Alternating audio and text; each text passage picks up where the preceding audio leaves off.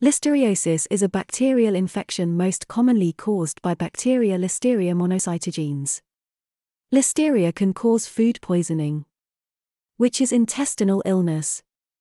But it can also spread outside intestines and cause systemic disease and even meningitis and encephalitis. For most people, listeria causes only intestinal symptoms, including diarrhea, vomiting, the severity of this food poisoning is not severe and usually resolves within one to three days. People who experience these symptoms usually recover without treatment. Infection starts around after 24 hours eating of contaminated food. Listeria is a harmful germ that can hide in many foods. Common foods which can cause listeria infections are hot dog and meat products like deli meats, dairy products, soft cheese, celery, sprouts, cantaloupe, and ice cream, unpasteurized milk, also called raw milk. Melon, moreover, you should throw away cut melons if left at room temperature for more than 4 hours.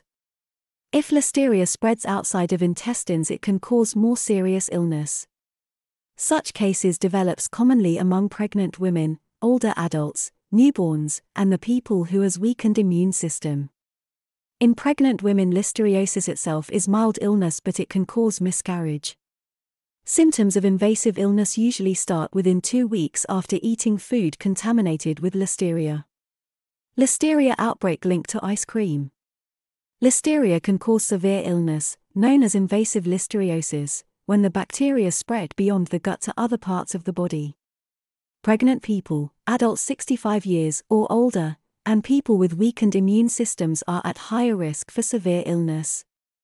Symptoms of severe illness usually start within two weeks after eating food contaminated with listeria, but may start as early as the same day or as late as several weeks. Symptoms among pregnant women fever, flu like symptoms, such as muscle aches and fatigue. Symptoms in pregnant people are usually mild. Some pregnant people never have symptoms, However, infection during pregnancy usually leads to miscarriage, stillbirth, premature delivery, or life threatening infection of the newborn. Symptoms in people who are not pregnant fever, flu like symptoms, such as muscle aches and fatigue, headache, stiff neck, confusion, loss of balance, seizures. Almost 1 in 20 non pregnant people with invasive listeriosis die.